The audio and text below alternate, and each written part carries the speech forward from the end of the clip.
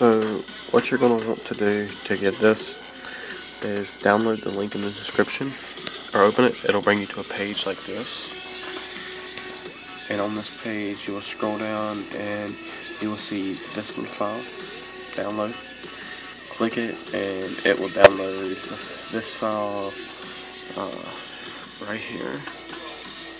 Um, it says R225195. Open it up, and it will bring you to this page right here. And what you will do is click on this one, the run dot, the setup.exe. And when you do, it's going to bring you to a little unzip page and it's going to ask you can you make changes say yes it's from Dell it won't hurt just going to pull up the installation wizard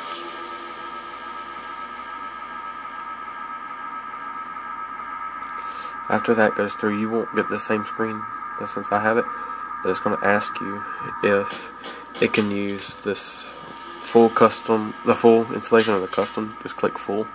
Custom it won't do anything fully. And after that it's going to ask you if you want to um, restart the computer now or later. Just go on and do it now.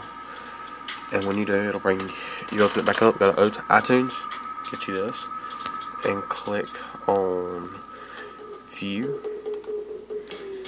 and then click on visualizer and you'll originally have this one but what you'll click on is the Alien F Wear FX. And it'll bring you to this screen. And there you go. Same thing works with the Windows Media Player.